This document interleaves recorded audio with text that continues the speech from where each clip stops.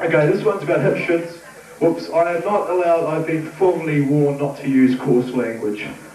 So this one is about um, hip feces. It's called Needles and Plastic.